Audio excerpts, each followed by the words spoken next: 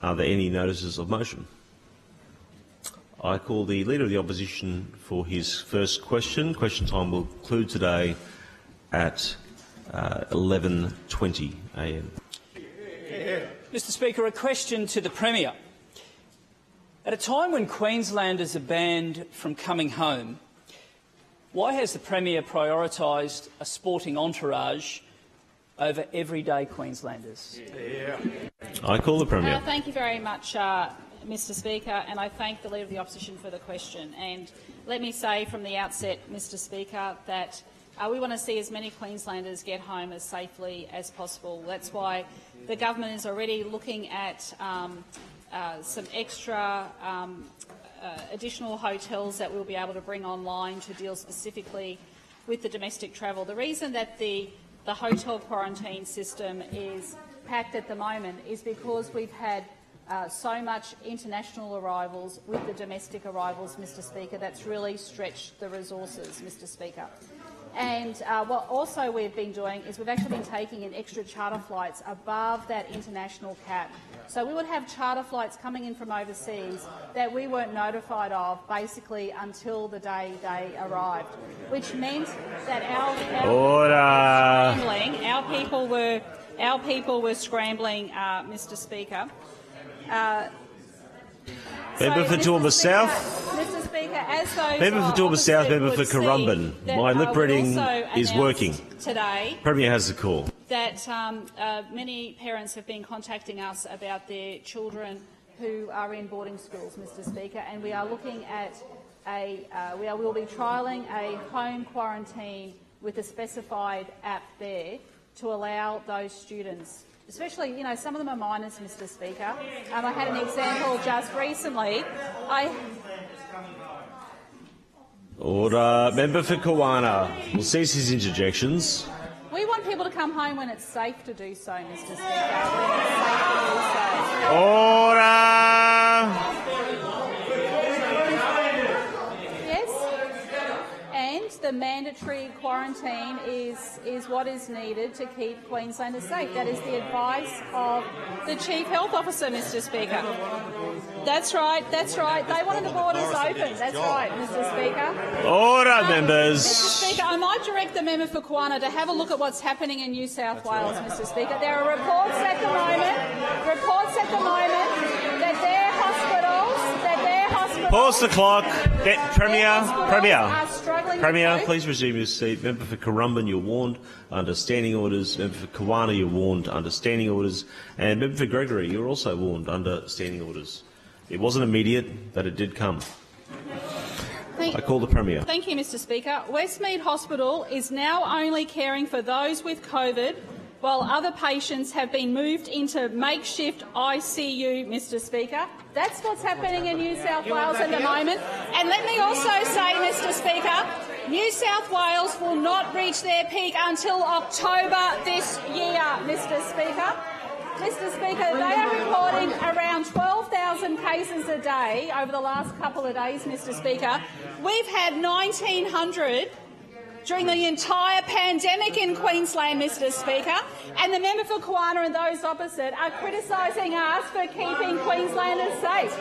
Well, sorry, you're on the wrong side of the fence. The, the Premier's time has expired. I remind uh, all members that comments will be directed through the Chair. Uh, the Leader of the Opposition, please uh, ask your second question. Uh, Mr Speaker, a question to the Premier. I refer to the Premier's comments that the sporting entourage is not counted in the cap. Sharon is a cancer patient stuck interstate following her mother's funeral. What does Sharon have to do to not be counted in the cap and return home to Queensland? I call the Premier. Thank you, Mr. Speaker. And uh, people who are um, who have medical conditions are exempt from that cap, Mr. Speaker. We have made that very, very clear, Mr. Speaker. Very, very clear that the exemptions are separate to that cap, Mr. Speaker. Now, in relation to to that particular individual, the health minister has has assured me that the exemptions unit is dealing personally with her, Mr Speaker, and that is the right thing to do, to go through the exemptions unit, Mr Speaker. But, Mr Speaker, let me quote this. So this is a very interesting quote, Mr Speaker. This is what someone said. About NRL. Let's just be very clear. Our people are passionate for the game. We've got the facilities and we're willing to play our role to keep the NRL season afloat. Now, who said that? Who said that? Who said that? Oh, just look over there. The member for Toowoomba South. The member for Toowoomba South. So, you know, you know, you come in here. Come in here, Mr Speaker. Order! That's right. On that side of the house. On that side of the house. Yeah, nice own goal there. You got him to touch on that one. We're trying. So, Mr Speaker, so, Mr Speaker, we will work very closely.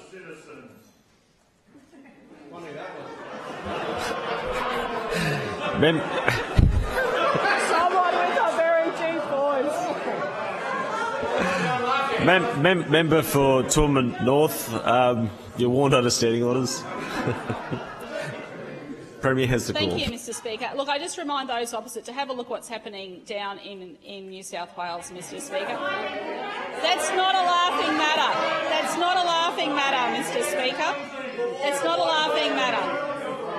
And, and, if, and if Queenslanders had listened to, to this lot opposite, imagine where Queensland would be today having COVID because they called for the borders to be open 64 times, Mr Speaker. 64 times. Mr Speaker, the Queensland uh, Health Officer takes all, um, all care in dealing with requests that come to her for a whole variety of reasons. The exemption unit has been increased because we know this is a very concerning time for families and we have moved quickly today in looking at prioritising those minors who are isolated away from their families in boarding schools or in other parts of Australia that need to come home to their families, Mr Speaker. And I, res- I just remind those opposite too, as the Treasurer said, it is states like Queensland and Western Australia that are continuing to function. Our economies are open. Our economies, people are enjoying. Premier's time has expired. And that would all Premier's time has expired, and I ask you to resume her seat. I call the member for Redlands. Mr Speaker, my question is of the Premier and Minister for Trade. Will the Premier update the House on the regional benefits of hosting the 2032 Olympic and Paralympic Games? I call the Premier.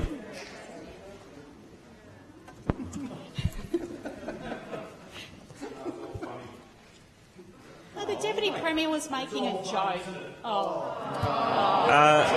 Order! Order, members. I'm not the one wearing a flowery mask. Put your mask on.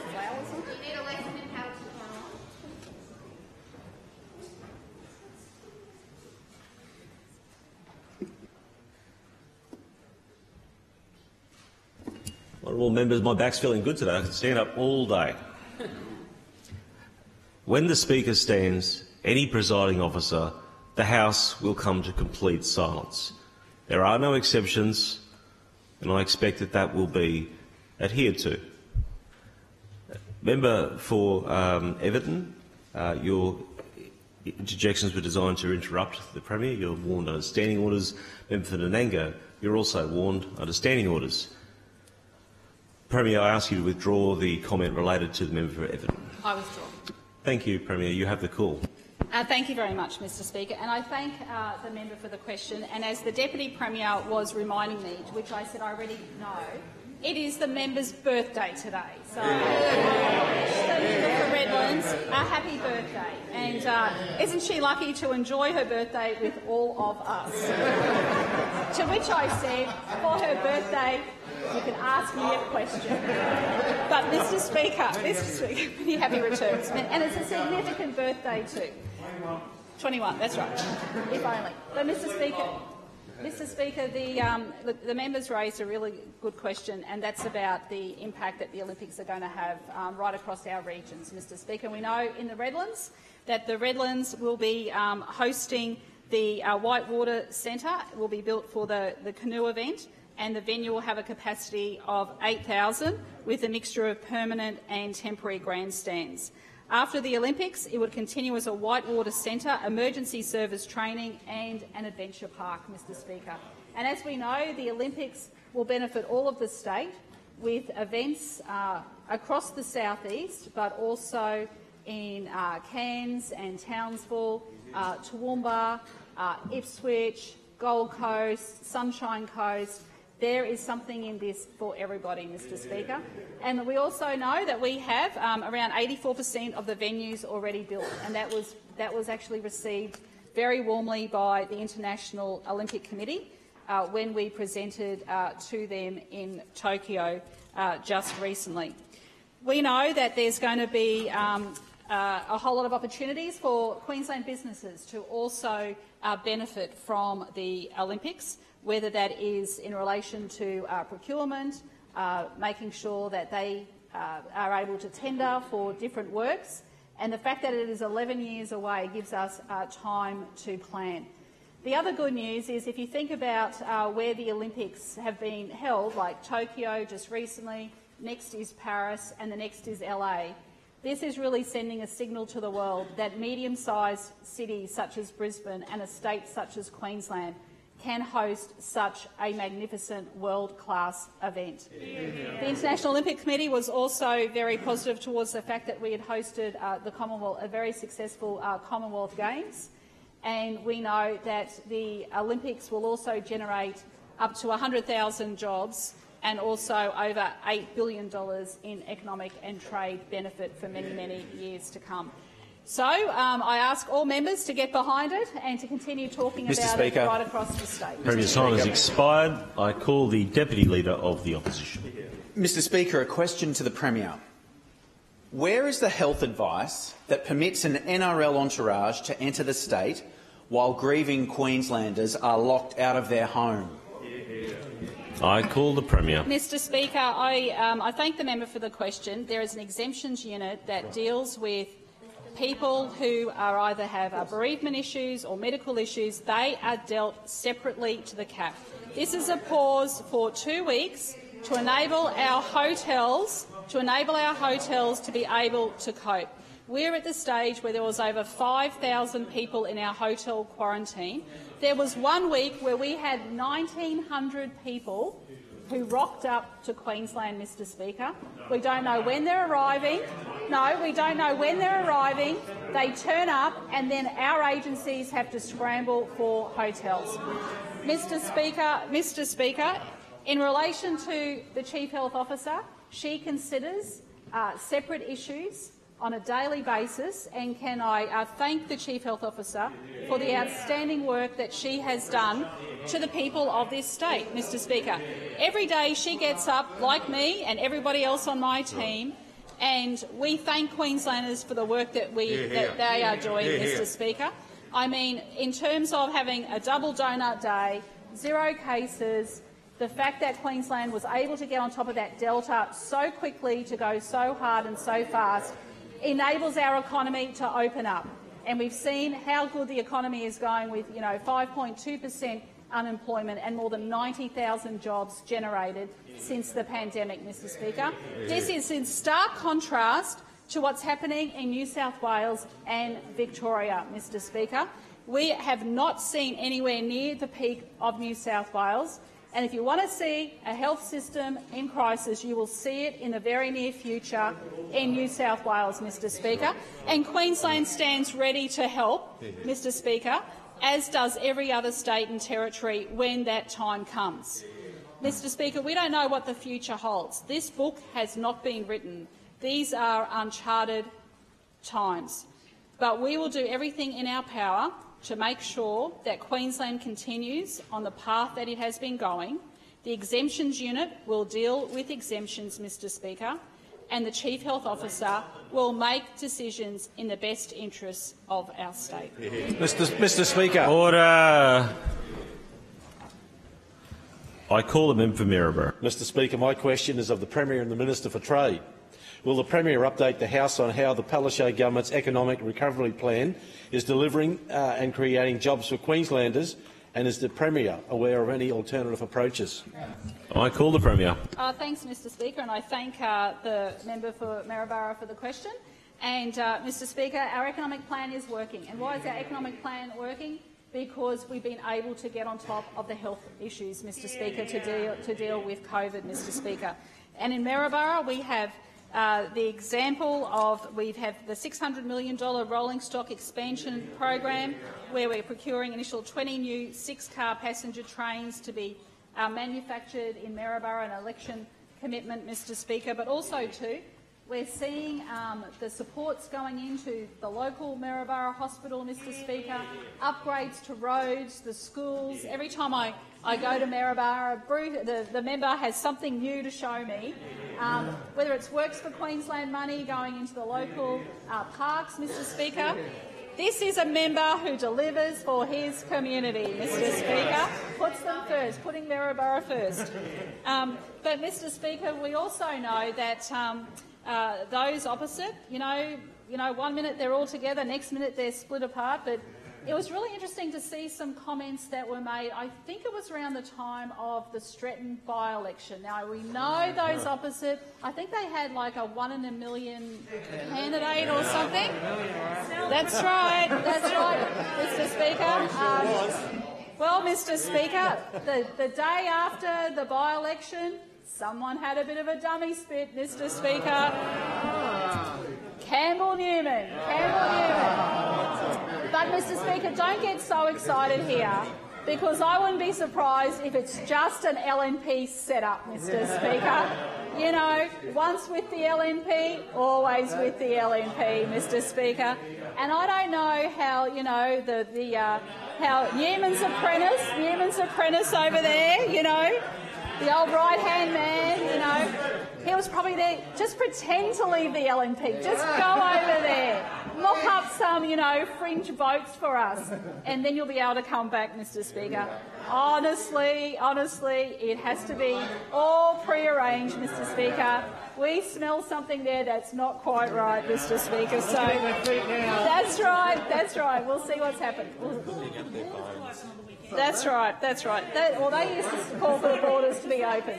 So it'll be interesting to see where he's getting his instructions from. But, Mr Speaker, on this side of the House, we will continue with our economic recovery. We will continue to make sure that we have growth across our state, Mr Speaker, and we will continue with our strong health response, Mr Speaker, and we will continue to put in place those necessary measures that are needed to keep Queenslanders safe. Mr Speaker. I call the member for Kawana. Thank you, Mr Speaker. Question to the Premier. If Queensland hospitals are for Queenslanders, why aren't Queensland quarantine host hotels also for Queenslanders? Uh, before calling the Premier, uh, Leader of the House, uh, you'll put your comments through the Chair. I call the Premier. Thank you, Mr Speaker. Um, the case of member for Kawana wasn't listening. There are exemptions there for people who need access to medical services, who have bereavement issues, Mr Speaker. That is separate to the cap. We've got a pause at the moment, Mr Speaker, so our, so our quarantine system can ease. And, Mr Speaker, what is one of the reasons that have been putting pressure on our quarantine system is that we are taking above the cap that has been set for international arrivals, Mr Speaker. If the cap comes below what it's supposed to be, Mr Speaker, we can take more people coming into Queensland. So perhaps the member for Kawana might want to pick up the phone to his friend, the Prime Minister, down in Canberra and ask him as to why that is not happening. We are getting charter flights that, are, that are, we are finding out on the day, scrambling to get hotels because this is above the cap that was set by the federal government, Mr Speaker. And just to clarify again for the House, in relation to the, the, uh, the uh, refugees coming from Afghanistan, that is separate to the cap, Mr Speaker. So we're trying to do everything we possibly can, but over 5,000 people coming into Queensland was going to put stress on the system. It was going to stretch our resources, Mr Speaker, and we had to get that under control. Mr Speaker. I call the member for Ipswich West. Thank you, Mr Speaker. Uh, my question is of the Deputy Premier and Minister for State Planning, Infrastructure, Local Government and Planning. Can the Deputy Premier update the House on the progress of providing quarantine facilities in Queensland? I call the Deputy Premier. Uh, thank you, Mr Speaker, and I thank the member for Ipswich West for his question. I know that he knows that keeping Queenslanders safe is the foundation of our economic recovery. And if we're going to continue to keep Queenslanders safe, we need fit-for-purpose quarantine facilities. Hotel quarantine was incredibly valuable in the early stages of the pandemic, but it has let us down with the Delta strain. Leaks from hotel quarantine have led to outbreaks here, but more devastatingly, in New South Wales. We need new options for quarantine, not just urgently, it's not just urgent, it is in fact overdue. And that's why I was pleased last week to join the Premier at Wellcamp Airport to announce that we would build a new purpose-built accommodation uh, facility there in what is the perfect location. It is adjacent to an international airport. It has a buffer from residential areas. It is a greenfield site ready to build on, and in fact, construction is underway right now. Mr Speaker, the Doherty Institute says that quarantine will continue to be necessary even when we meet those vaccination targets. And if we had have got the go-ahead to build it when we first suggested it in January, we would have it built right now. We would be using it right now, but we got sick of the excuses from the political masters of those opposite. Let's run through the Prime Minister's excuses, shall we? First of all, he said there wasn't enough detail. So we gave him a lot more detail. Then he said, then he said, big planes can't land there. And so we sent him a picture of his big plane on the tarmac after it had landed there. And then he said, and then he said, it's in the desert. And we said, no, no, Toowoomba is not in the desert. And then when we announced it, what did he say? Oh, you should have done it months ago. After all the excuses, he said, you should have done it months ago. Well, where they are failing, we are acting. Where Morrison has failed on the vaccination rollout, Queensland Health has stepped in and are delivering. And where Morrison failed on quarantine, we are stepping in and we are building a dedicated quarantine facility. The first 500 beds will be ready by Christmas, the next 500 in the first quarter of next year, months ahead months ahead of the Commonwealth's proposed Pinkenba facility that won't be online until closer to the middle of the year. Uh, honourable members, um, apologies for the interruption to question time. We've received advice from the Queensland Police of a possible protest activity, including attempted intrusion of the precinct. Uh, as a precautionary measure, Queensland Police advise that the precinct should be locked down until the uh, protest activity has ceased. I've directed uh, the implementation of this advice. This includes no access in or out of the precinct during the lockdown period, and further advice will be provided uh, as it comes to hand. Thank you. I call the member for Mudgeeraba. Thank you, Mr. Thank you, Mr. Speaker. Question to the Health Minister. Ca sorry. Can the Minister guarantee all surgeries performed at Caboolture Hospital have been done by surgeons qualified to perform them? I call the Minister for Health. Um, I thank the member for his question, and um, the issues raised uh, both in yesterday's media reports and today are very serious allegations. Uh, when uh, I was first contacted uh, mid-July uh, in relation to these allegations, I sought advice from Caboolture Hospital and Metro North HHS in relation to those specific allegations, and those the ones that were reported yesterday. I can advise that um, each of those allegations uh, were thoroughly investigated by the Caboolture Hospital's Performance Management Committee, but some of those, of course, at least one of those have gone to the coroner, and the coroner has chosen not to further investigate in relation to that particular um, deceased person. Of course, the Department of Health have also, and through the Clinical um, Excellence Queensland, have been doing additional work. But there has been additional claims made today.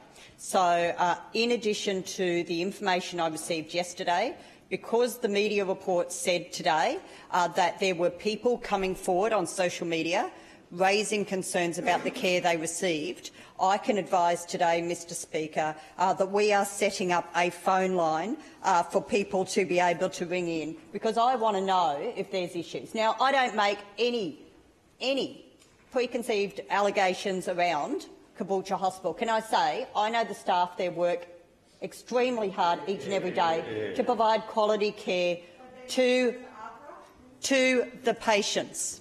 But I want to make sure that if there's people out there who do not believe that they've had the care at the, at the level that they believe they deserve, then they should come forward and provide us with the information so it can be properly considered. And I want them to do that. Um, and, and it, needs to occur not just on social media or through media reports, but coming forward to the authorities. So can I advise the House that Queensland Health is establishing a dedicated phone line available to anyone who wants to raise concerns about the treatment they have received at Caboolture Hospital. They can phone uh, 3647 9559. It will become available from midday today. It'll be open from 8am to 5pm, seven days a week, and it'll be staffed by a clinical nurse consultant. I'm setting this up to ensure that anyone who has any genuine complaints can come forward and they can be properly considered and investigated. Um, I,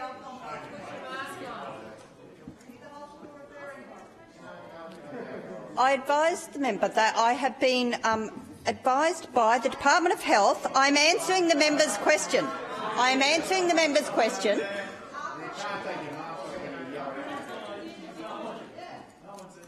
There are various bodies that complaints can be raised to. As the member knows, both the hospital. Order, members. Members to my left. Mr Speaker. The minister's time has expired.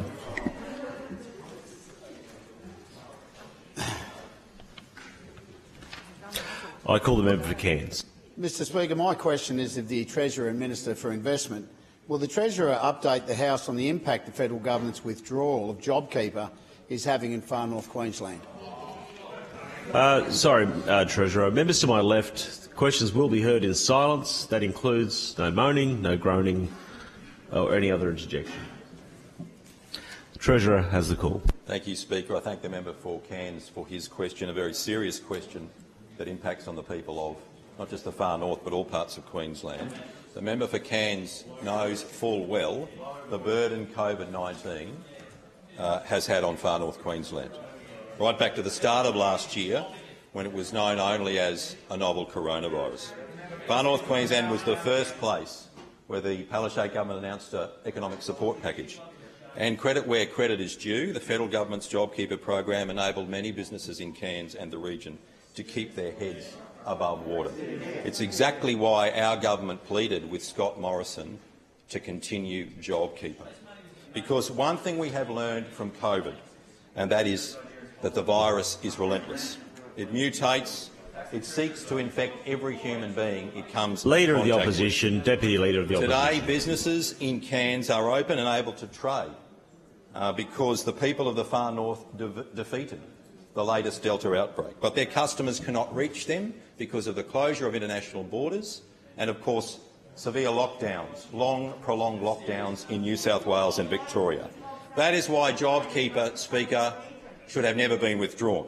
And that's why JobKeeper is required right now.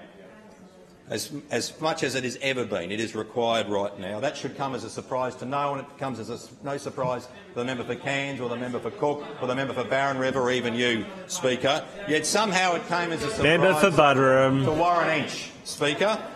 Moments after we announced a jointly funded $600 million package, what did he do? He Pause asked the clock. Pause the clock. He missed Pause the clock. uh, Treasurer, please, to his region. please resume your seat. Member for Buderim, you're warned. Under standing orders, you're making no attempt besides the mask to uh, mask the interjection. Treasurer, you have the call. He missed the unique opportunity to stand up for his region, to do his job, Speaker. We all know, of course, that Warren Entsch was very happy to use his power and his number in the party room to bring down Malcolm Turnbull. He's the fellow that caused Malcolm Turnbull to lose the Prime Ministership. But when he is called on to stand up for his community, he does absolutely nothing. Because it is typical of the spinelessness of the LNP. Uh, those Speaker. comments are unparliamentary. Those comments are unparliamentary. I ask you to withdraw. I withdraw, Speaker. It is typical of the lack of courage and the weakness and the cowardice of the LNP. Speaker, call it what you may. That is typical of the LNP. So today I call on Warren Entsch to do Leader of the opposition. job, Speaker. I call on Warren Entsch to do your job. And of course the Leader of the Opposition will do nothing. The Leader of the Opposition will do nothing. He will, he's happy to bleed in this House, happy to interject, but will not stand up for Queensland. He won't stand up. The Leader of the Opposition won't stand up to Warren Entsch. He won't call on him to use his power, use his power to bring back JobKeeper. So I say, Warren Entsch, Scott Morrison, do your job and bring back JobKeeper. Treasurer's time has expired. The Leader of the Opposition, you're warned under standing orders. Uh, I call the member for Moggill. Mr Speaker, a question uh, to the Health Minister. Can the Minister confirm that there was not a permanent or acting Director of Surgery at Caboolture Hospital for five months in 2020? I call the Minister. Uh, thank you, Mr Speaker. I'm happy to follow up on that uh, for the member. Mr Speaker. I call the member for Aspley. Uh, my question is of the Minister for Education, Minister for Industrial Relations and Minister for Racing. Can the Minister advise the House of the arrangements made to adjust the Year 12 exam timetable and accommodate the People's Long Weekend at the end of October? Yes. I call... Member for Nanango, you're under warning. Uh, you can leave the chamber for one hour. Oh. Feel no pity, member uh, for uh, uh, uh, McConnel. Um, the member knows full well.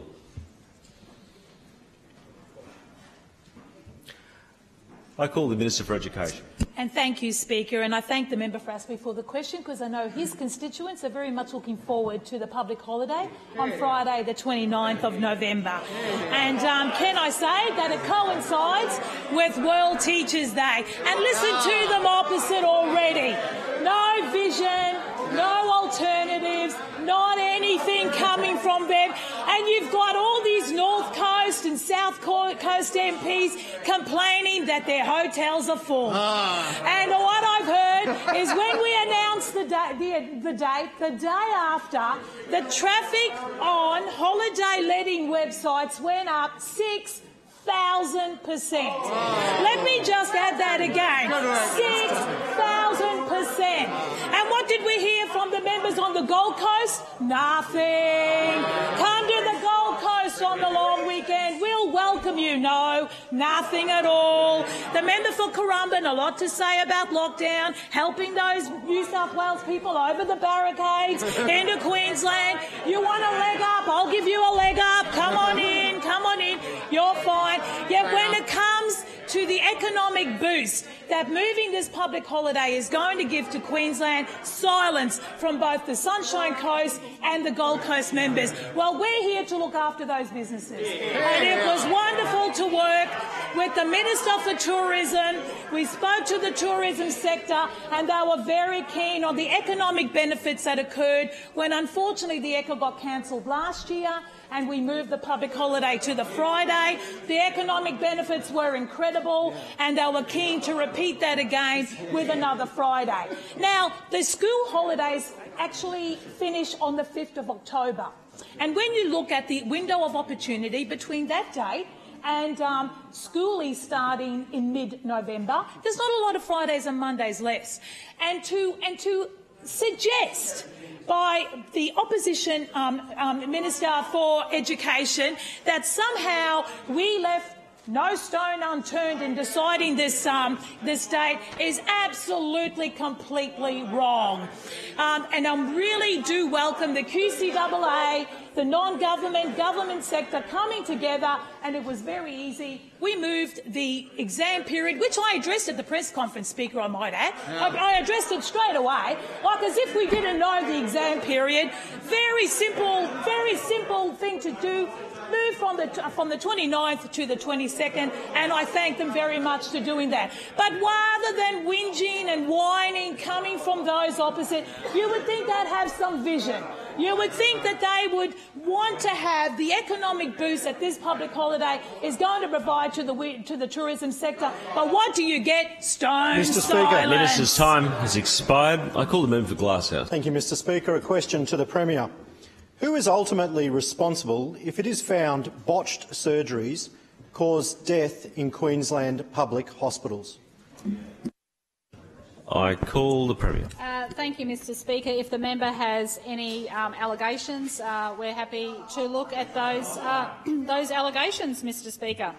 Um, so, but, Mr Speaker, I will remind uh, the member opposite as well, Mr Speaker, about um, he might want to have a close look at what's happening in New South Wales at the moment to see the overwhelming, the overwhelming response that is happening, that is happening with dealing with the Delta virus, Mr. Speaker.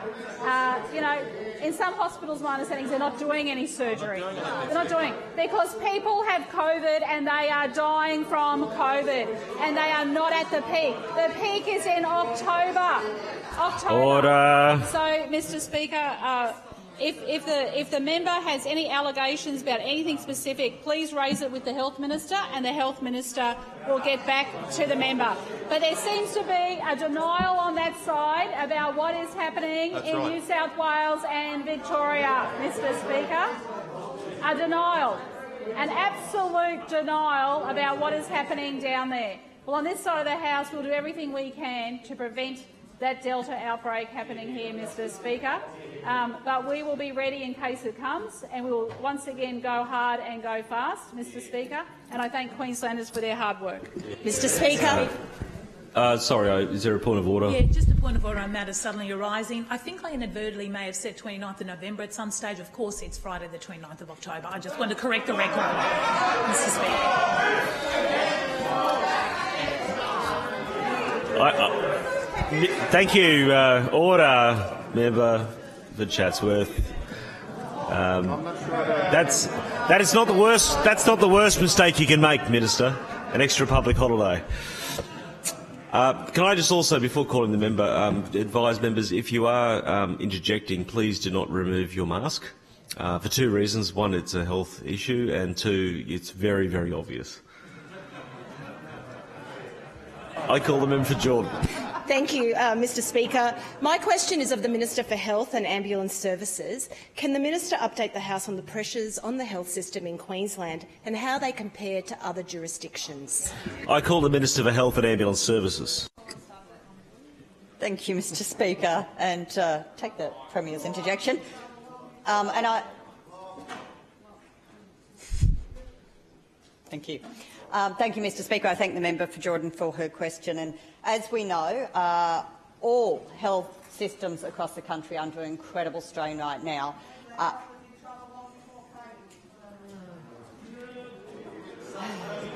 Certainly, I'll take sorry. that interjection. It wasn't in a good space under the LNP, that's for sure. Uh, Minister, Minister, pause the clock. Um, member for Mudgeeraba, your warned understanding orders, uh, those comments were clearly not directed through the chair. They were directed towards the Minister. I call the Minister for Health. Uh, thank you, Mr Speaker. And um, yeah, again, uh, I don't think the LNP can talk about the health system when uh, they still have not acknowledged and apologised for what they did to uh, the health system and the sacking of staff. But, Mr Speaker, um, look, the system has been under incredible pressure. We're very proud of the investment uh, that we have made, including in this year's budget and the additional funding that we have put in uh, to open up additional beds. And in fact, uh, on top of the $100 million prior to the budget for Care for Queensland, an extra 163.5 million to uh, provide another 351 beds available in the next 12 months. So this will help with some of those pressures, but we also need to understand that the pressures um, keep having peaks and troughs. And the reason why is because our staff are doing such an incredible job of playing catch-up and then we end up having an outbreak and then we have lockdowns. And so the most recent lockdown not only slowed down elective surgery again, but we had over 400 health workers in quarantine. And as of today, because of the outbreak that started on the 31st of July, we still have some health workers in quarantine today because they are family members of uh, the Indooroopilly cluster. So that had a significant impact as well. Uh, but, Mr Speaker, we know that jurisdictions across the country are doing it tough. Even Western Australia, uh, prior to the most two recent cases, um, had announced that they were putting a suspension on their elective surgery. Sydney is actually turning away COVID patients. It is so distressing to hear what is happening in Victoria and New South Wales right now, where people are being turned away, and sadly, people who are being managed by the health system in their homes are dying from COVID. Dying from COVID, and actually one in five people who have died from COVID in the current New South Wales cluster, which is now over 20,000 people involved in that cluster who have been positive, one in five have actually contracted it while they were in hospital and then died as a consequence. So this is what we have fought for 19 months to stop happening. This is why we have tried so hard. We've stockpiled, we've trained, we've converted and uh, transitioned our hospitals to have these negative pressure rooms, to do everything we can so that people don't die at home and people don't get turned away who are positive patients and we don't run out of ventilators. That's what we have done and worked hard to avoid. I'm very proud of our health workers. I'm proud of our Chief Health Officer. I'm proud of being part of the Palaszczuk government and the great work that we're doing. Speaker. I call the member for Maiwar. Speaker, my question this morning is to the Minister for Health. Today is Overdose Awareness Day. Despite Queensland being the second highest state for pharmaceutical overdose deaths, we're the only state without any federal or state funding to supply naloxone, which reverses the effects of opioid overdose. Will the minister commit to fund frontline alcohol and other drug workers to supply free, life-saving naloxone, or is the government too afraid of being seen as soft on drugs? I call the Minister for Health. Uh, thank you, Mr Speaker. I thank the member for his question. Um, putting aside the cheap political comment at the end there, this is a very serious issue. Um, and when you talk about mental health, when you talk about crime, when you talk about youth crime, uh, when you talk about homelessness, you have to talk about drug and alcohol as well. Uh, you have to acknowledge that this forms part of all of those issues and they're all interlinked. Uh, in fact, I raised this with the Assistant Minister of the Commonwealth responsible for mental health and said the National Partnership Agreement that we are negotiating now on mental health, will there be a dedicated funding stream for drug and alcohol support, that the Commonwealth steps up and supports us in targeting this area, understanding how important that is in the mental health? And the answer was no. No, we are not having any dedicated funding in this space. We'll continue to, to uh, talk about funding in the border concept, but we're not funding any particular programs or facilities. Uh, we have uh, got strategies around drug and alcohol, uh, but the job's never done in this space. It is a very, very difficult area, and we know it's a growing area. But we can talk about drugs. You only need to listen to our Queensland Mental Health Commissioner, who will tell you the consequences of alcohol as well and the impact that that is having on our community um, which can be far greater still. So we have to tackle both of these areas. Um, I don't think any government should be closed off to any ideas. You have to be willing to look at all models, all initiatives, what works and what doesn't around the globe, because no one's had all the answers to this. No one has solved the problem of drug and alcohol abuse and addiction. But we are absolutely committed on working on these areas, working with stakeholders, uh, both public and private, uh, working with all three levels of government. Uh, and importantly, I hope that the member also is ensuring that his colleagues are asking these questions of the Commonwealth, because I know those opposite won't ask that question. Uh, they won't ask why the Commonwealth aren't investing in drug and alcohol, why they're not playing their part, why they're not considering that as part of the negotiations under the National Partnership on Mental Health. But I'll continue to raise the issue because we can't do this alone. We can't fund everything out alone, and the Commonwealth just keeps stepping back on all of their responsibilities when it comes to health, mental health, NDIS and aged care. All of these areas, housing, I'll take that interjection from the Treasurer, um, and we need more support financially, resources from the Commonwealth as well, because this is not just a Queensland problem, it is a national problem. Uh, but as I say to the member, we are committed to looking at all initiatives. I won't rule anything in or out, but I'm not playing cheap top politics with this issue. I'm not too scared to look at anything. We will look at what works mm-hmm. and what doesn't. Mm-hmm. And we will make sure we work on evidence-based policy because that's what the Palaszczuk government always has and always will do. Speaker. Speaker. Order. I call the member for Keppel. My question is of the Minister for Transport and Main Roads. Can the Minister update the House on the government's record investment in regional roads? I call the minister. Oh, thank you, uh, Speaker, and thank you for the member for Keppel, a great advocate for regional roads and getting a lot done in her electorate of Keppel. Uh, Speaker, over the last 18 months we've seen more than $1.5 billion in new and accelerated funds going out onto regional roads as part of this government's response to the COVID pandemic. We've, as part of our four stimulus packages, we're seeing more than 2,700 jobs directly supported, and anyone who goes out into rural uh, Queensland and country Queensland can just see how much is getting done. The level of uh, positive feedback from mayors is very, very strong, with more than 95 per cent of that outside of TMR's metropolitan region, Mr Speaker. More than, uh, more than uh, most of that $1.5 billion Um, uh, is going out. Sorry, uh, Minister. Please resume your seat. Pause the clock. Member for Southern Downs. You're more than understanding on us. Thank you, Member for McConnel. I call the Minister. It is good to see the enthusiasm over there from the member of Southern Downs, Mr Speaker. So, Mr Speaker, the road safety is very much our, our commitment. $1.7 billion over four years have been allocated to road safety initiatives specifically. That means more overtaking lanes, better intersections, widening, sealing. We're going to seal uh, $100 million worth of uh, dirt roads to sealing as part of the stimulus, uh, Speaker.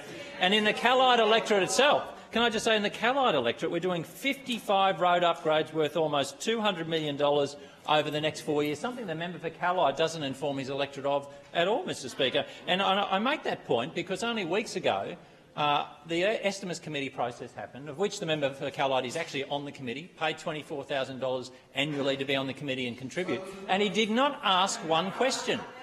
He did not say one word. Order. Member for Chatsworth will cease his interjections. Point of order, Mr Speaker. Uh, sorry, order, Minister. Paul, please resume your seat. What is your point of order? It Arose on a matter of privilege suddenly arising. The minister had indicated on Twitter this was the case. I corrected him because I looked at the Hansard. The member for Callide did ask questions during the entire. Uh, no, no. I Please, believe please, please resume. Please resume your seat, member for Kawana. There's not a I'll point be of writing order. to you, Mr. Speaker, That is because I a believe the separate issue. That is a separate issue, and I will uh, look at your correspondence and I'll give it consider- consideration at that time. I call the minister for Transport and Main Roads. Speaker, the member for Callide did not ask me a single question in four hours of estimates committee. Not, not one. He, might be, Mr Speaker, he talks big on social media, but he's quiet as a church mouse when he comes to Parliament, Mr Speaker. And he wants to take that silent treatment. He wants to take that silent treatment to Canberra now, running for the federal seat of Flynn, Mr Speaker. So, you know, he wants to be elected. He calls himself the voice of rural Queensland, but he's more Marcel Marceau, Speaker. You know, the, the, and maybe Canberra needs a Marcel Marceau, Mr Speaker, uh, but that kind of silent treatment is just fake.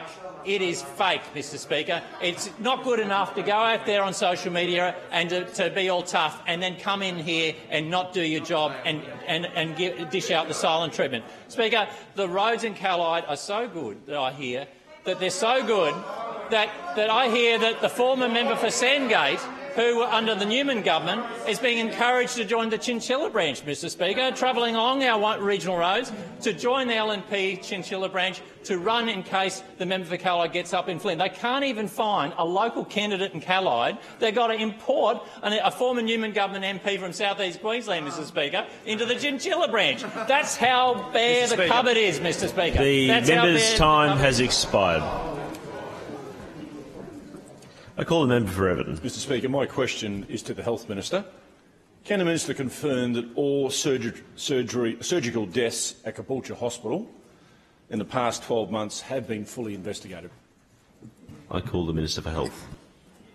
Uh, thank you, Mr Speaker. I thank the member for Everton for his question. As the member uh, should be aware, um, not every death is investigated. Unexpected deaths um, are automatically um, referred to the coroner, and the coroner makes decisions as to whether there is uh, an investigation that needs to occur in relation to those deaths. Um, I'm aware, as I say, uh, one of the three that were referred to in the Courier Mail article yesterday, um, the death, uh, was referred to the coroner and they chose not to further investigate. So uh, I have no information before me that in any way says that any deaths that are unexpected, haven't been referred to the relevant authorities and properly investigated and considered by the coroner.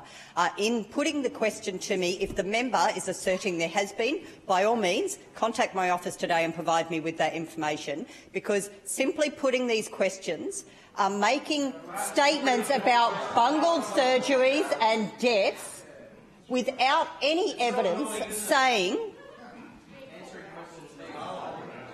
It is an offence on the people who work every day in our public health system to attack them and make allegations without making sure you have the evidence to back that up.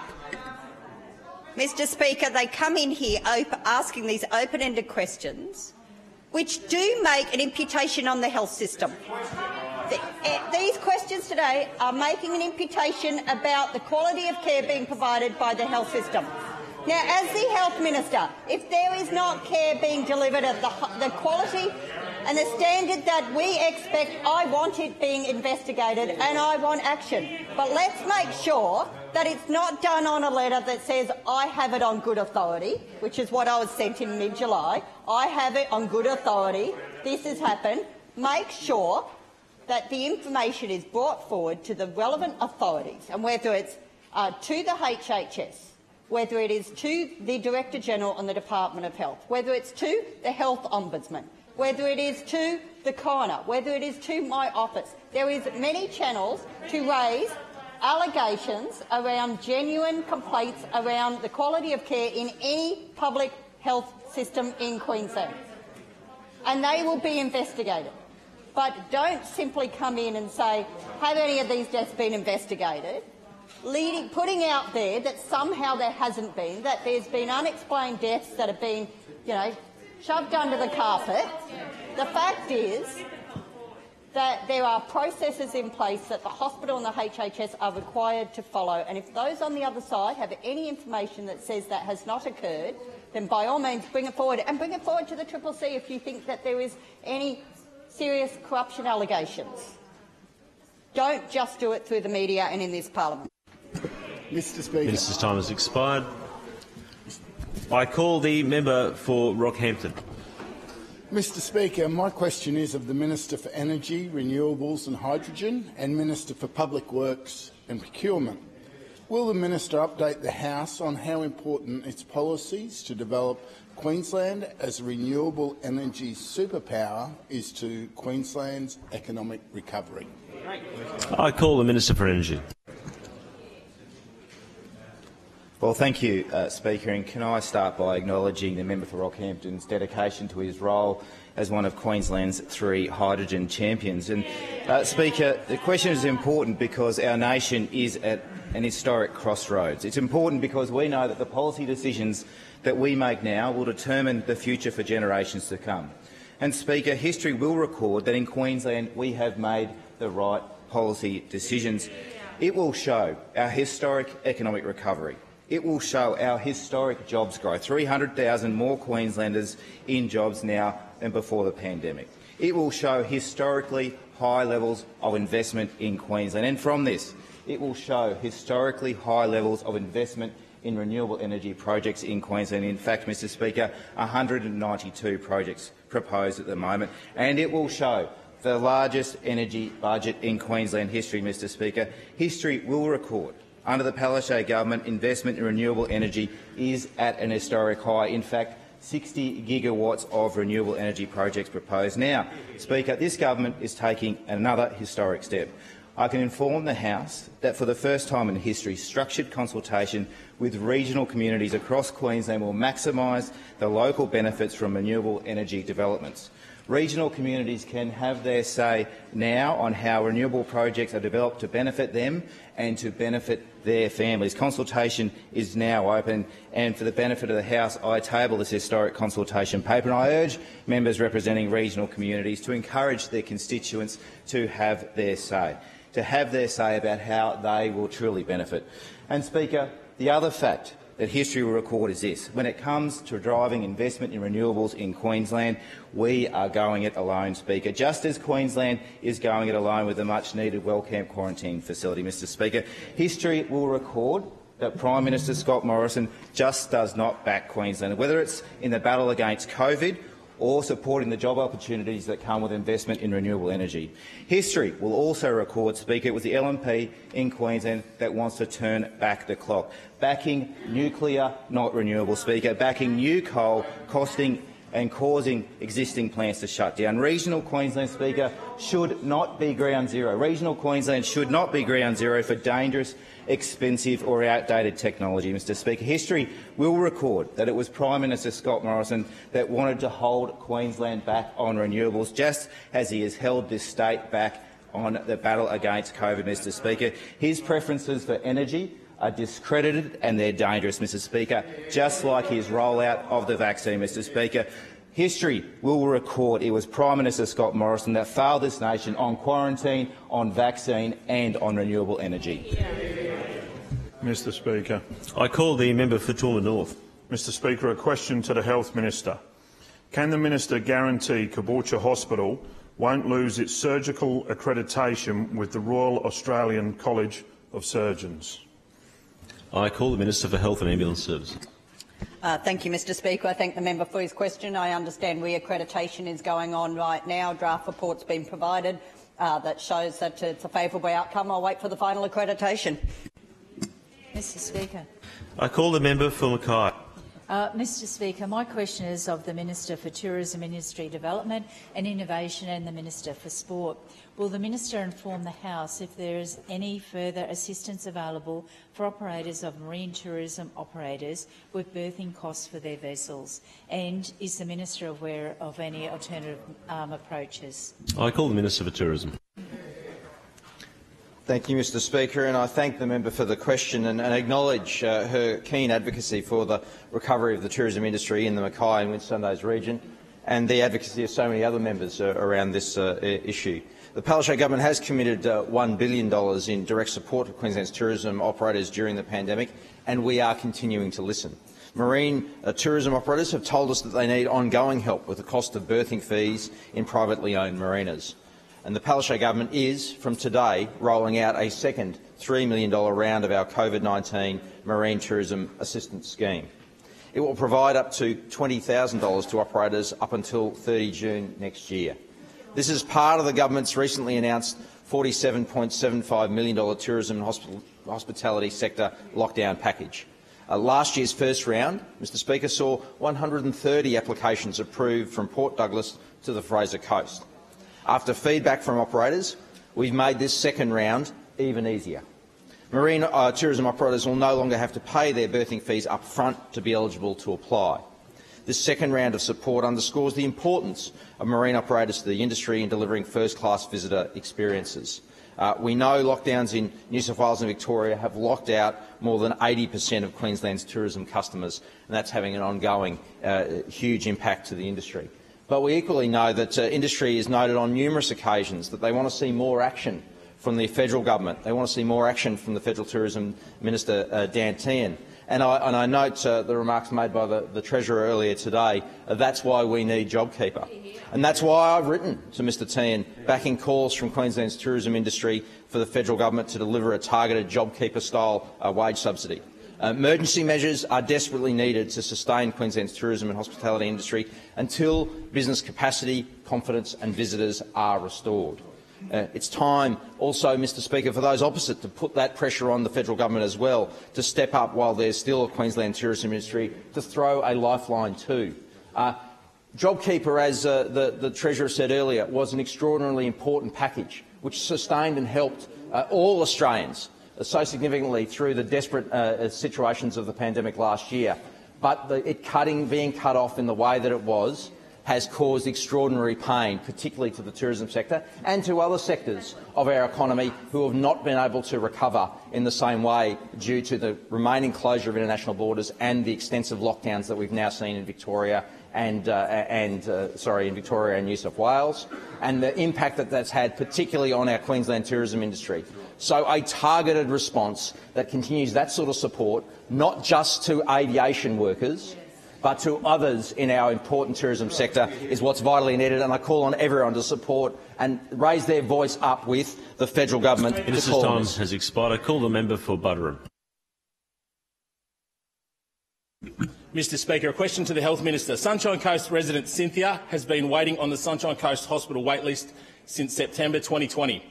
She's been told that, and I quote, she may be offered an appointment in January 2022, end quote. How long will Cynthia have to suffer in pain on Queensland's ballooning hospital waitlists before she can receive surgery? Uh, the period for question time has expired. I'm sorry, member. Um, I didn't want to interrupt your question. Uh, order, members. Members will leave the chamber quietly if you are doing so, uh, as a courtesy to other uh, other members. I call the leader of the house.